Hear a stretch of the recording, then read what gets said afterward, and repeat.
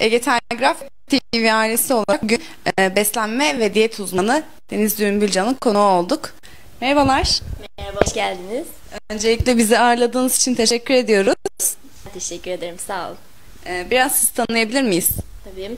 E, diyetisyen Deniz Ümbülcan, beslenme ve diyet danışmanlığında şu an danışanlarıma hizmet veriyorum ama daha öncesinde birçok merkezde e, danışanlarımı kabul ediyordum. Öğrenciliğim boyunca birçok sertifika programına katıldım ve e, kişinin hayatına dokunacak bilimsel çalışmalarla olabildiğine inandığım için bu çalışmalara her zaman önem verdim. E, bu dönemden sonra tabii ki öğrencilik yıllarım bitti ve Ege Üniversitesi'nden mezun oldum. E, sonrasında dediğim gibi farklı merkezlerde çalıştıktan sonra kendi ofisimi açtım. E, şu anda da hizmet veriyorum danışanlarıma. E, uyguladığım sistemden bahsedebilirim size. Çünkü herkesin e, diyet anlayışı ne yazık çok farklı oluyor. E, bizim için diyet kısıtlı diyet listelerinden oluşmalı aslında. Ben buna inanıyorum. E, bilimselliğin getirdiği doğrultuda olması gerekiyor ve kişilere doğru bir şekilde sunulması gerektiğine inanıyorum. E, bu nedenle de danışanım benden ne ister ya da ben bir uzmana gitseydim ben o kişiden isterdim diye düşündüm aslında. Siz ne isterdiniz?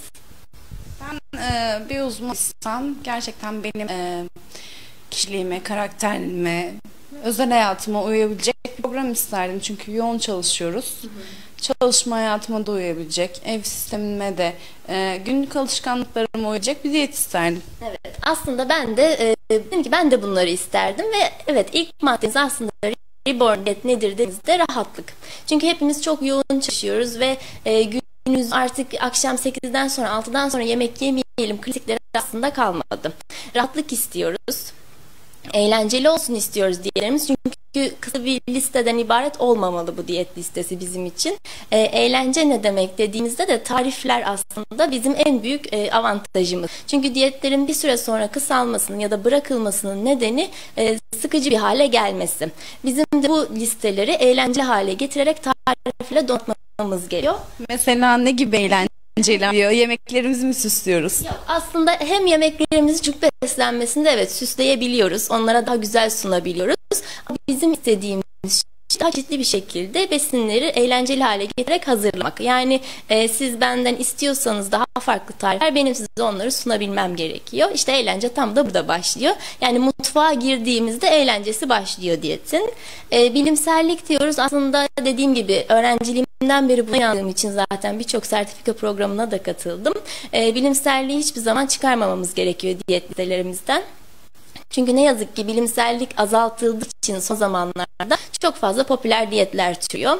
Ee, bunun da olmaması gerektiği inandığım için üçüncü maddemiz bilimsellik. Onun dışında e, diyetin aslında kişiden kişiye değişmesi gerekiyor. Yani herkesin parmak izleri bile farklı. Yani hiçbir kimse birbiriyle aynı değil. Siz bir tanesiniz, ben bir taneyim, o başkası bir tane. O yüzden orijinallik aslında diyetlerde olması gereken önemli madde diye düşünüyorum. E, dördüncü maddemiz de o yüzden orijinallik.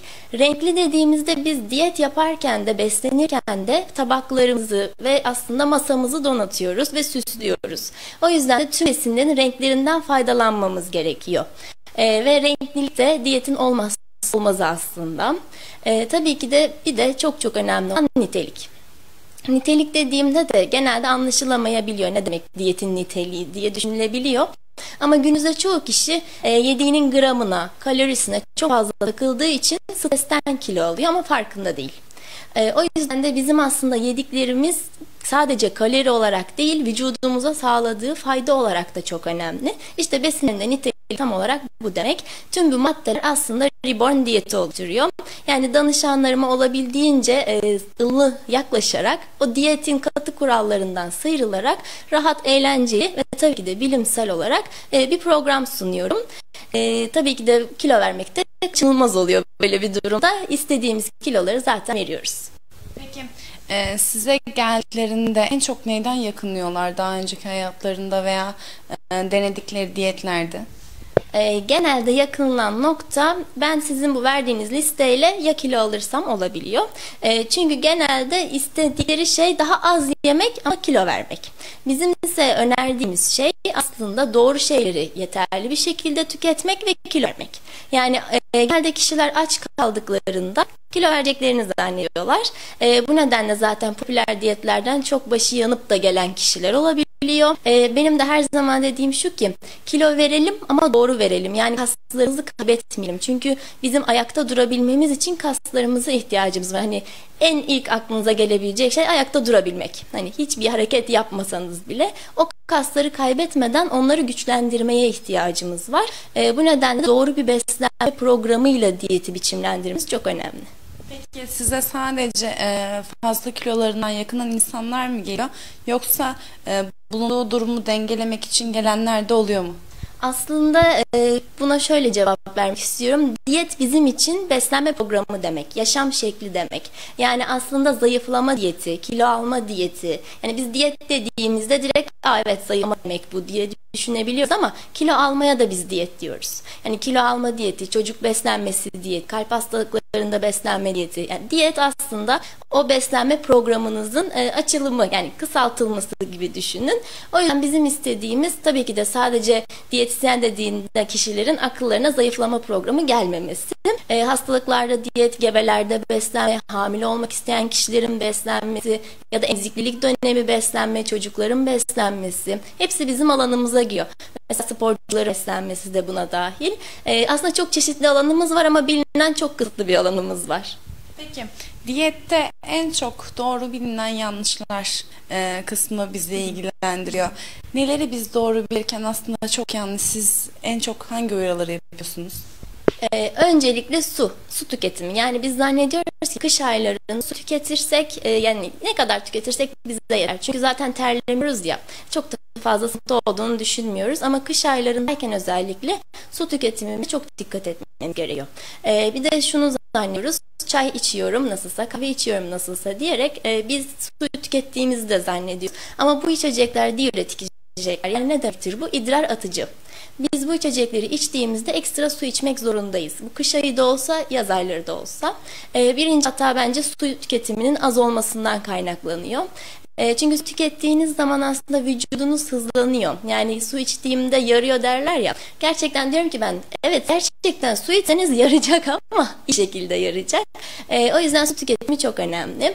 Onun dışında az önce bahsettiğim gibi aç kalmak Bizim ettiğimiz şeylerden bir tanesi.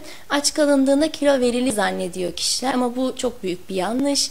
Ee, onun dışında yine şeker tüketimi bizim çok dikkat etmemiz gereken bir konu ama e, orada da şunu söylemem lazım. Şeker karbonhidrattır, ekmek karbonhidrattır gibi bir algı var. Evet doğru hepsi karbonhidrattır ama doğru ekmeği tüketmek kişilere kilo aldırmaz. Bu da üçüncü bir yanlış diye düşünüyorum. Çünkü genelde bizim istediğimiz tam tahılları tüketmek. E, yani tam tahılları tüketme çünkü glisemik indeksi bu besinlerin daha düşük. Yani nedir bu? Kan şekeri seviyemizi daha e, düzgün bir şekilde indirip çıkar, çıkartabilen e, kan şekerine etki edebilen besinler. Ama beyaz un bunun tam tersi. Bu bizim için yine çok önemli. E, dördüncü olarak şunu diyebiliriz. Sebze yediğimizde zayıflıyoruz zannediyoruz. Ya da dışarıda yediğimiz salatalar bizi zayıflatıyor zannediyoruz. Ama aslında bizim için bir yanlış diyebilirim. E, çünkü dışarıda yediğimiz salatalar aslında içer, içerisine koydukları soslar ve yağlar yüzünden e, bir anda çok fazla kalorili hale gelebiliyor. Yani biz o anda salata işte sebze yiyorum niye kilo alıyorum dediğimizde aslında arkasında yatan kalorileri ya da katkı maddelerini görmüyoruz. Onlar da bize kilo aldırabiliyor. Genelde Peki, gördüğüm hatalardan biri de bu. Peki aynı şey makarnalar için de söz konusu değil mi? Aslında e, makarnalarda şu da geçerli. Şimdi genelde bunu soruyorlar bana. Makarna mı yiyelim, işte bulgur mu yiyelim, pirinç pilavı mı yiyelim? E, sıralamaya koyacak olursak pirinç pilavı en tabii ki de istemediğimiz. Sonrasında makarna, sonrasında bulgur. Makarnanın hani yine tüketilebilir olduğu duyunca kişiler çok şaşırıyor. Ee, ama bulgurdan sonra makarnayı daha rahat bir şekilde pirinçtense tüketebilirler. Orada da makarnanın piş derecesi bile önemli. Yani eğer ki çok fazla pişiriyorsanız glisemik indeksi artıyor. Yani istemediğimiz bir hale geliyor. Biraz daha az pişiriyorsanız glisemik indeksi daha düşük oluyor. Daha istediğimiz bir hale geliyor. Ama tabii ki dışarıda tüketilen o söylediğiniz makarnalarda öyle bir durum yok. Olabildiğince pişiyor, olabildiğince süzülüyor suyu ve vitaminleri alıyor. Onun dışında işte soslar, yağlar ve koruyucu maddeleri eniyor. Biz ama makarna yiyorum derken çok kötü bir tabak yiyoruz aslında. Peki e, Ve bir konu daha var. Proteinler ve karbonhidratların birbirine karıştırılması. Bu konu hakkında neler söyleyeceksiniz? Aslında e, proteinden zengin beslenelim. Min anlamı şu. İşte proteinler çok fazla enerji yakar vücutta. E, işte o yüzden proteinlere yükleniyorum gibi gibi sözler çok fazla duyuyoruz. Her zaman diyorum ki ben yeterli ve dengeli beslenme. Yani hepsinden doğru ve yeterli bir şekilde alırsanız vücut zaten onları güzel bir şekilde işler. Ee, sadece işte proteine yönelirsek, sadece karbonhidrata yönelirsek ya da sadece yağlara zaten kimse yönelmiyor. Geldi kaçıyorlar yağlardan. Ama o da doğru bir konu değil. Yani hepsinin dengesinin bizim için yerinde olabilmesi çok önemli. O yine kişiye göre bile değiştiği zaman olabiliyor tabii ki. Çok bilinen bir şey daha var. Kış aylarında özellikle kadınların kilo aldığı, yaza doğru da işte diyetlere sarıldığı, sporlara sarıldığı. Kış ayında biz nasıl beslenmeliyiz ki en azından yazın verdiğimiz kiloları birazcık dengeli tutalım? Aslında e, bizim için bu çok ayrı bir alan. Çünkü kış beslenmesi, yaz beslenmesi dediğimiz kışın evet bağışıklık sistemimizi daha kuvvetlendirici bir beslenme programını benimsememiz gerekiyor. Ama kilo alımına baktığımızda iki türlü de kilo alan var aslında. O çok fazla değişiyor. Yazın alkol tüketimi artabiliyor çünkü. Onunla beraber de kilo alan kişiler olabiliyor. Kışın da akşamlar uzuyor. E, atıştırmalıklar yüzünden kilo alanlar olabiliyor. Yani iki mevsimde de kilo alan kesim var. Önce bunu söylemem lazım. Onun dışında da e, akşamlarda tüketilen besinlerin e, daha böyle ağız oyalıcı ama daha kalori bazının az olmasını istiyoruz. Yani mesela ne olabilir bu? E, kuru yemişleri çok fazla akşam bırakmadan mesela bir leblebi, işte bir nohut leblebi tüketebilir kişiler. E, bizim için bu ekmek demektir. Bir fincanını ölçtüklerinde bilim ekmeğe denk gelir mesela. Ya da kışın çok sevilen patlamış mısır. E, sayı, sınırsızca tüketebileceklerini zannederler. Koca bir tabak yaparlar falan. Onun da bir su bardağı patlamış haliyle e, bu soruyu da alıyorum. Patlamış patlamış mı diye. Patlamış haliyle yine bir dilim ekmektir bizim için. E, mesela yağsız yapıyorsalar işte tuzunu çok fazla koymuyorsalar patlamış mısır arada bir olabilecek güzel bir alternatif bizim için kış gecelerinde. Ya da yine e, sahipler bozalar bu mevsimde ortaya çıkıyor. E, birazcık kalorileri fazla. Yenisi ve sonrası beslenme programınız az sonra. Deniz Hanım öncelikle bu güzel masayı bize hazırladığınız için teşekkür ediyoruz. Bayağı da uğraştırmışız sizi. Ama biz özellikle kadınların bir mağduriyeti var. Biliyorsunuz kışın biz evde sıcak havalar biraz kiloları alıyoruz. Genelde evde olduğumuz için elimiz hep güzel yiyeceklere gidiyor. Ondan sonra yaz geldiğinde de koştur bakalım diyetisyenlere, spor salonlarına kilo vermeye çalışıyoruz. Bize biraz yaz beslenmesi, kış beslenmesi hakkında bilgiler verebilir misiniz? Ee, öncelikle ben şunu diyorum. Bikini mevsiminin esiri misiniz? Yani eğer bunun esiriysek gerçekten dediklerinizi yapıyoruz. Yani kışın kilolu alırız, yazın vermeye çalışıyoruz. Ama aslında diyetin mevsimi yok. Ee, biz sağlıklı beslenerek bu işi yapıyorsak ya da sıkılmadan bu işi yapıyorsak, hayatımıza entegre edebiliyorsak zaten her zaman sanki diyet yapıyormuş gibi bir hayatta yaşıyor oluyoruz. E, çünkü bizim diyetimizde olması gereken eğer ki tatlı istiyorsa canınız tatlının da olması. Eğer ki yani yememek değil de yediğimizde onu ne yapabileceğimizi bilmemiz gerekiyor. Böyle bir durumsa yaz kış hiç fark etmez biz kilomuzu zaten koruyabiliriz. Ama onun dışında e, şimdi kış mevsiminde akşamları evet atıştırmalıklara yönelebiliyor Mesela burada sırpaklağımız var. E, genelde çok seviliyor, tüketilebiliyor. Ama bir su bardağının aslında bizim için bir dilim ekmek olduğunu unutuyoruz. Genelde diyorlar ki ekmek tüketmeyeyim. İşte hayatta ekmek yemem. Ama diyorum ki bakın siz bunu yemişsiniz, bunu yemişsiniz. Zaten bunlar ekmek yerine geçiyor. Dediğimde aa evet ben ekmek yiyormuşum durumuna geliyoruz. Çünkü biz farkında olmadan kış gecelerinde çok fazla atıştırmalıklara yöneliyoruz. İşte kuru yemişleri tüketiyoruz, yağ tüketimimiz artmış oluyor. Tabii ki faydalı yağlar ama e, dozundan olmadığında bize zarar verici yağlar da olabiliyor. E, ya dediğim gibi mesela patlamış mısır, işte leblebiler eğer ki tüketiyorsa kişi bizim için hep ekmek yerine geçen gıdalar. E, bu gibi gıdaları da kontrollü bir şekilde tüketmezsek zaten kilo alımı çok fazla gözlenebiliyor. Peki canımız burada cipslerimiz var. Cips istedi. Oturup cips yiyor muyuz?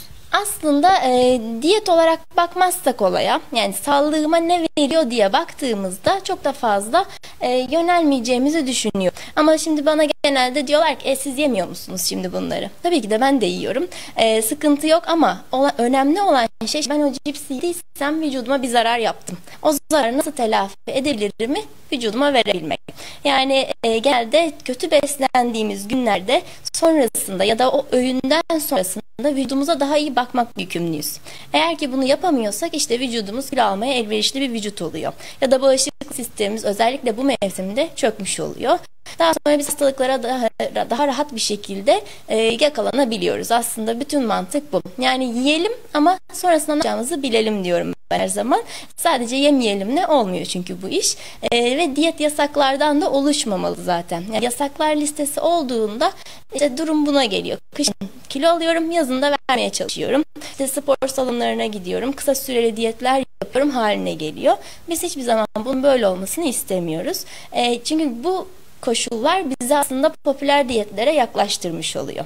Nedir bu? İşte yaza iki ay kalıyor. Ben 15 kilo vermek istiyorum diye geliyor kişi ya da gene düğünlerinden önce işte e, bu elbiseye bugün niye girmem lazım bana bir ayda şu kadar kilo verdirin gibi gelebiliyorlar mesela. E, tabii ki bunlar hiçbir zaman yapamayacağımız şeyler eğer ki doğru bir programı izleyeceksek. Onun dışında işte bitki çaylarına yönelebiliyorlar. Tabii ki kullanabiliriz. Biz de anlatacağız bunları. Ama doğru bitki çayları ya da yanlış bitki çayları diye de biz bunları ikiye ayırıyoruz. Bunlar işte bağırsağınızın çevresini bozmayacak bitki çayları doğrudur. Ama eğer ki sinemaki gibi mısır püskülü gibi bitki çaylarını içiyorsa kişi sadece zayıflamak için işte burada yanlış başlıyor. Çünkü bu noktada kaslarını kaybediyor sadece ödem atıyor vücuttan kilo yağ kaybı gözlenmiyor. Kişi de zannediyor ki ben kilo verdim. Ama sonrasında yüzündeki çöküntüler ve halsizlik ya da belki baygınlık geçirebiliyor. E, bu durumları yaşayınca ne yazık ki işte o zaman bizim kapımızı çalıyorlar. Biz de diyoruz ki evet bunları yapmışız bu yüzden böyle olmuş. Yani aslında e, diyetin mevsimi yok. Sağlıklı beslenme olduğu sürece. Yeni yıla hazırlanıyoruz. Bunun öncesinde bir hazırlık yapmamız gerekiyor mu? Şimdi orada çok güzel masalarımız olacak. Belki bir otelde kutlayacağız. Belki evimizde, ailelerimizle birlikte. Ama mutlaka mükellef bir sofra olacak. Hı hı.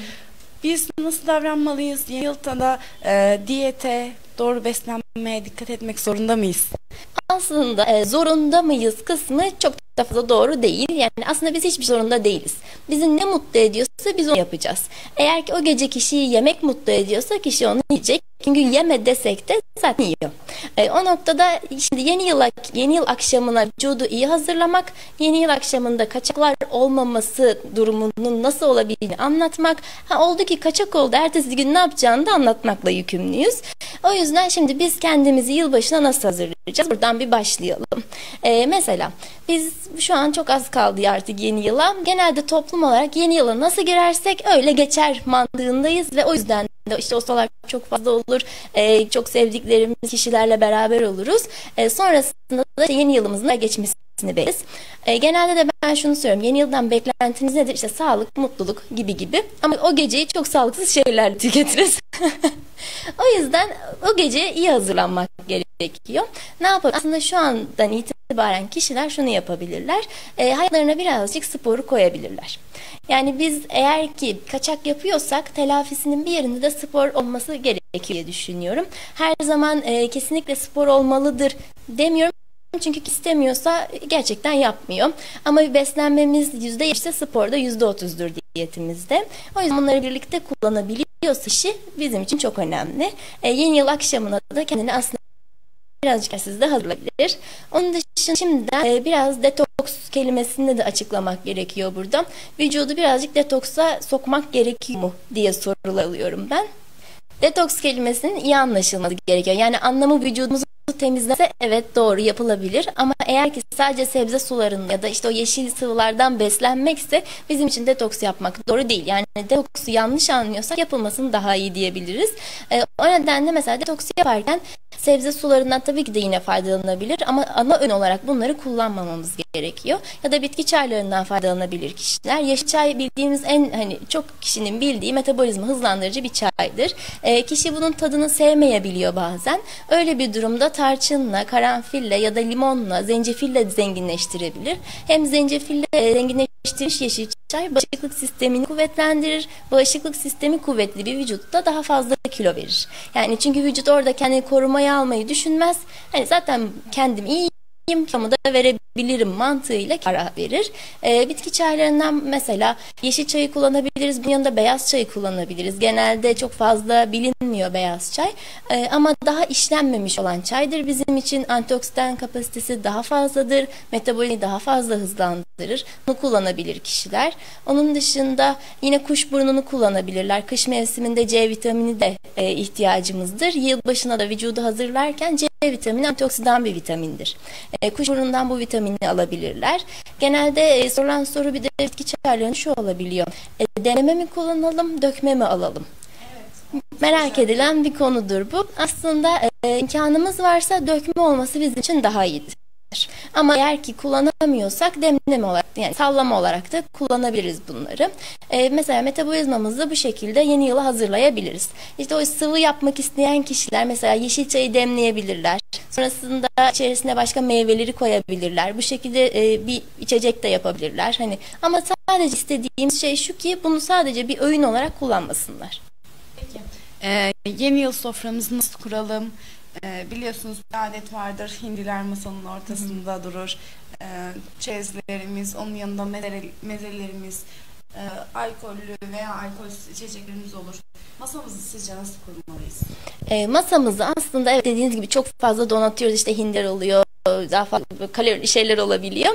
Ama bizim istediğimiz öncesinden gelen e, beslenme o bir hafta öncesinde mesela beslenmemiz daha hafif besinlerden oluşsun. Çünkü o gece evet zaten yoğun bir şekilde besin tüketimimiz olacak. E, o gece buradan anlatabiliriz.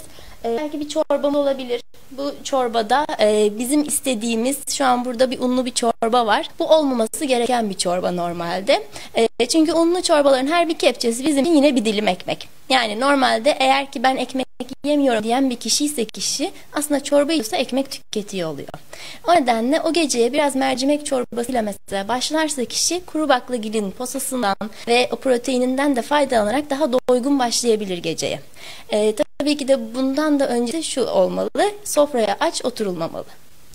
Nasıl yapacağız o? Önceden bir atıştırmalı. Onu e, günümüzü iyi planlayacağız. Şimdi bir hafta öncesinden antioksidanları kullanalım dedik. Daha hafif beslenelim dedik. İşte sporu hayatımıza koyalım dedik. Bunları yaptık. Son gün artık yılbaşı günü ise bizim yapmamız gereken akşam öğün planımızı doğru bir şekilde planlamak.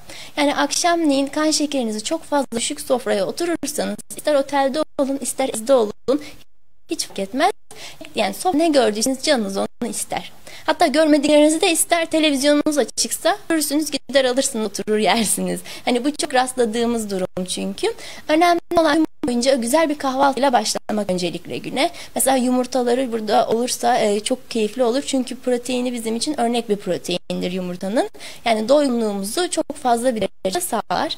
E, onun dışında yumurtanın yanında mesela peynirleri olabilir. Normal aslında klasik bir Türk kahvaltısı bile yapsalar normalde kaçarız çünkü biz işte bu yulaflı karışımlara e, bazı kişiler zaten akşama kaçıracağım diye. Sonra gün içinde de besin alımlarını azaltıyorlar. Böyle bir durum akşamleyin acıkan vücut böyle bir sofrayı gördüğünde zaten istediğinde yemeye başlıyor. İşte tam da bu yüzden o şeker dengesini bozmadan sofraya e, doygun bir şekilde oturması gerekiyor. O yüzden e, tok olması gerekiyor diyebiliriz. Ve evet mesela çorba olarak da böyle unlu beyaz bir çorbayla değil mercimek çorbasıyla kuru baklagille başlayabilirler. Onun dışında tabii ki istediğimiz eğer ki hindi ise ya da normal bir et yemeği ise sebzeli olursa en güzeli. Ama kişi bu istemiyorsa tabii ki de e, normal bir sebze yemeği tercih edebilir. Ya da salatasını en azından çok fazla evet. tüketebilir. Brokolilerimiz var. Evet. Brokolilerimiz var.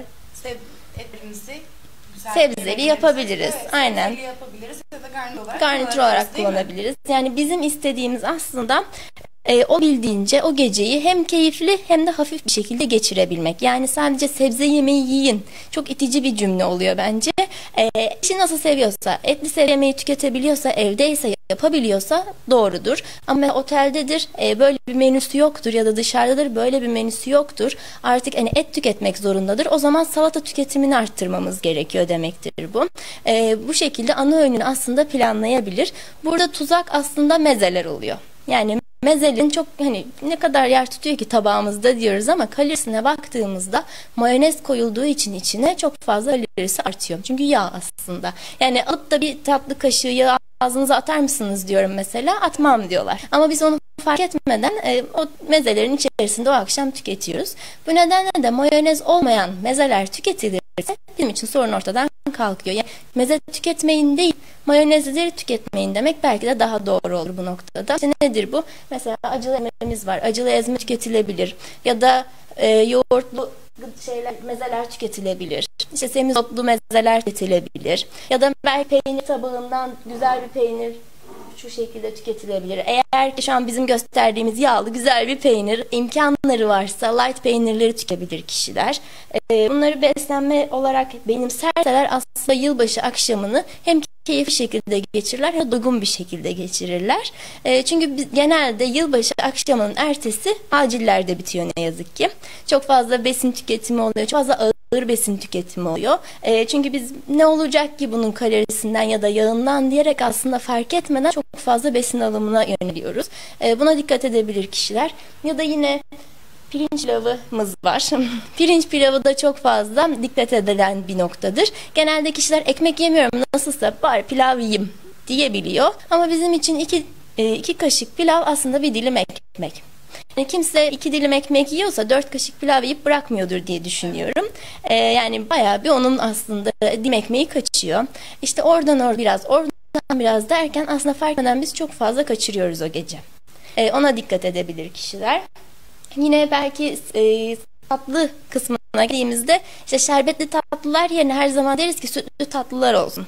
Ama o gece zaten çok fazla kaçak olacağı için eğer ki gerçekten istemiyorsalar belki meyvelerle bu geceyi birazcık atlatabilirler diye düşünüyorum. Meyve tabaklarıyla atlatabilirler. E, çünkü bir, eğer evde geçiriyorsak biz bu geceyi zaten belki de cipsler işte patlamış mısırları yemişler daha fazla da tüketilebiliyor. Böyle noktada da aslında yine tüketmeyin değil ama kuru yemişleri doğru bir şekilde, yeterli bir şekilde tüketin demek daha doğru diye düşünüyorum. Çünkü onlardan da aldığımız e, mesela o geceyi telafi edebileceğimiz magnezyum, çinko gibi vitaminler, mineraller de var. E, onları kullanabiliriz. Ya da mesela ne yapabiliriz? İşte bunları aslında bir tabağa parça parça işte sayılı bir şekilde koyarsak hani bu tabak bittiğinde benim için bitmiştir derse kişiler belki de daha rahat bir şekilde tamamlayabilirler geceyi. E, yılbaşı gecesinden sonra genelde kişileri acilde acile gittiklerini duyuyoruz. Bunun da aslında birinci nedeni tansiyonlarının yükselmesi.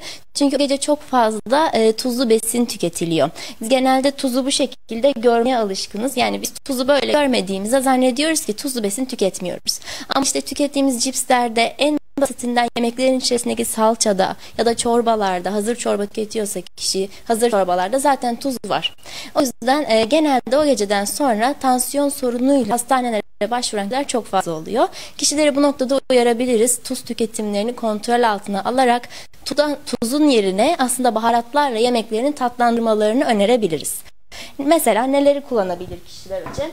E, metabolizma hızlandırır diyoruz kırmızı biber ya da kırmızı karabiberi kullanabilirler yine. Hem yemeklerinin tadı değiştirecek hem de metabolizmalarını hızlandırarak o gece yediklerinin sindiriminin de biraz daha kolay olmasını sağlayacak. Onun dışında e, zengini kullanabilirler. Yine belki yoğurtlarına biraz ekleyebilir kişiler. Ee, yine çörek koyabilirler. Hem metabolizmalarını hızlandıracak hem de sindirimlerini yine rahatlatacaktır çörek otu. Ve karabiberi herkes aslında çok seviyor ee, ama kullanmayı birazcık unutuyoruz. Karabiberi kullanabilirler. Çünkü karabiber kullanımı aslında tuz tüketimini azaltıyor.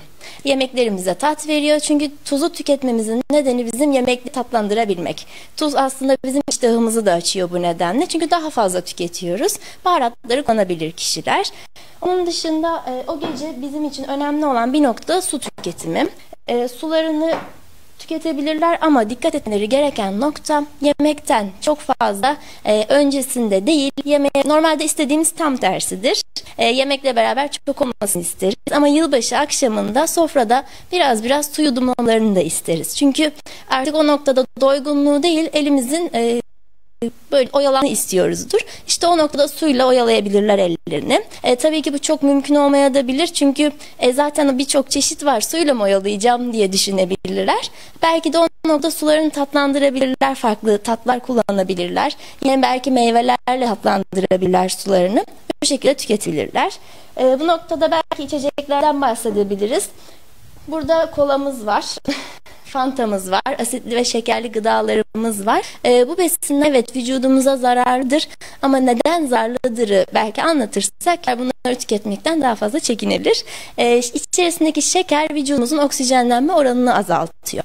Bu nedenle de kendimizi daha yorgun hissediyoruz ve ertesi günde uyandığımızda daha yorgun uyanıyoruz. E, yılbaşı akşamında tabii ki sadece e, asitli gıdalar olmuyor. Ne yazık ki alkole de yer verilebiliyor.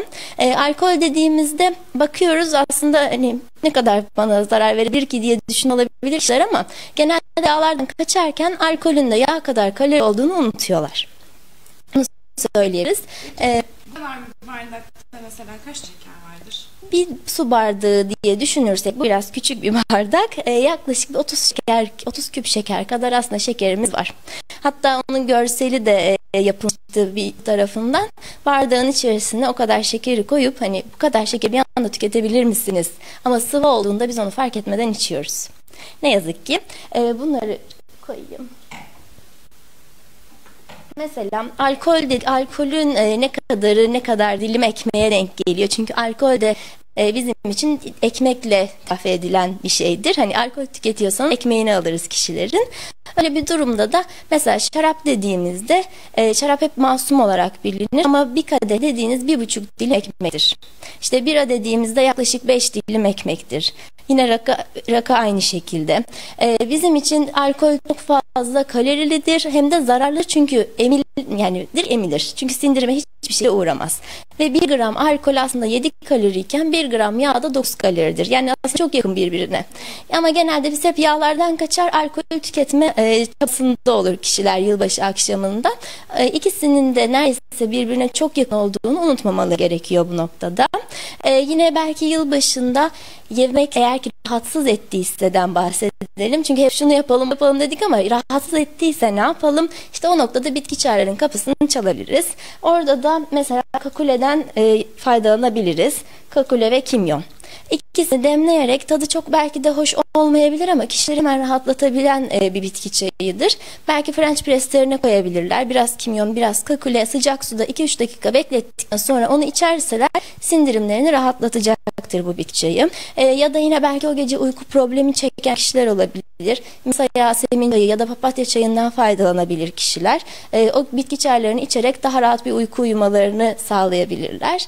Ertesi gün kahvaltılarında yine telafiye devam etmeleri gerekiyor tabii ki. E, şunu yapabilirler ya hafif bir kahvaltı seçmeyi tercih edebilirler. Yani yılbaşı gününde tercih etmemeleri gereken o yulaflı kahvaltıyı yılbaşı sonrasında tercih edebilirler. E, ya öyle hafif bir kahvaltı olabilir ya da C vitamininden yüksek çünkü e, bir gece önce vücut yoruldu. Onu artık birazcık e, tolere etmeye ihtiyaç vardır o noktada. C vitamininden yüksek bir kahvaltı yapabilir. Mesela nedir C vitaminin kaynakları? Hep portakal mandalina olabiliriz. Ama bizim için greyfurt da bir C vitamini kaynağıdır. Yine kuşburnu da bir C vitamini kaynağıdır. Kahvaltılarında bunlara yer verebilirler. Belki o noktada yağlı bir peynir yerine lor peyniri kullanılabilir. Ee, çökelek demiyorum çünkü çökelek daha yağsız oluyor. Direkt öyle güzel bir yağlı bir akşamdan sonra çökelek belki hani çok küçük gelmeyebilir. Hani olabildiğince çok artık olmasın. Ee, Ürün e, ne kadarı şekilde akşamında e, ikisinin de neredeyse birbirine çok yakın olduğunu unutmamaları olarak, gerekiyor bu e, noktada. Yılbaşının öncesinde tüm içenlerimizde Yine kuşburnu çayı da bir C vitamini kaynağıdır. Kahvaltılarında bunlara da yer verebilirler. Belki o noktada yağlı bir peynir yerine lor yani peyniri kullanılabilir. Ee, çökelek demiyorum çünkü çökelek biraz daha yağsız oluyor. Direkt hani öyle güzel bir yağlı bir akşamdan sonra çökelek belki de hani çok hoş gelmeyebilir kulaklarına. Hani olabildiğince artık e, vücudu daha iyi bir şekilde kaldırabilmeye ihtiyacımız var ertesi gün. Bunlara dikkat edebilirler. gerekiyor. Tabii ki son olarak yılbaşında öncesinde o zaman zaten e, toplum olarak yeter ki kilo vereyim. E, bu cümlesini çok kullanırız ama aslında önemli olanın kendimiz olduğunu unuturuz. Yani kişilerin öncelikle kendilerini sevmesi gerekiyor. Kilolu da olsalar eğer ki sağlık sorunları yoksa kendilerini sevmeleri gerekiyor. Tabii ki eğer ki sağlık sorunu başladıysa o zaman zaten önlememiz gerekiyor bu kilo alımını. E, buna çok önem veriyorum ben çünkü kişiler kiloluyken kendilerini sevmiyor. Ne yazık ki. Aslında biz her zaman güzeliz güzeliz, her zaman yakışıklıyız. Genelde kasları e, dinlediler. dediğimiz bir Size hastalık var mesela. ulaşmak Son yıllarda çok fazla arttı. Erkekler genelde daha kaslı. İşte kadınlar daha e, Barbie bebek tipi e, vücutları benimsemeye çalışıyor. İk- İnşallah site, 2019'da sayfada böyle bir benimseme E, olmaz ofisimin diyorum. Sağlıklı bir yıl olur diyorum. orada yazıyor Peki zaten. izleyicilerimiz Her zaman sizin e, güzel sorularını bekliyoruz. dinlediler. Çok teşekkür Size ediyoruz. ulaşmak Ben için ne yapmaları ederim. Sağ olun. gerekiyor? E,